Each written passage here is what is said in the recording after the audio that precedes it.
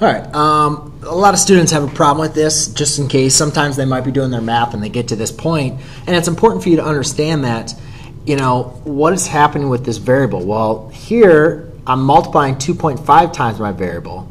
All right, so we like to rewrite this as 11 equals 2.5 times t. Then you're going to see, obviously, you see that my operation that's happening is multiplication. So to undo multiplication, I have to divide by 2.5. So then, when you make sure that you divide by 2.5 on both sides by using the uh, division property of equality. So by using the division property of equality, I now 2.5 divided by 2.5 equals 1. 1 times t just equals t. 11 divided by 2.5 equals 4.4, which I just used my I just used my uh, calculator to compute that.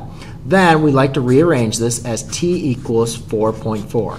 So therefore, the solution of this equation, or the value, solution of t, or the value of t that makes this equation true, is 4.4.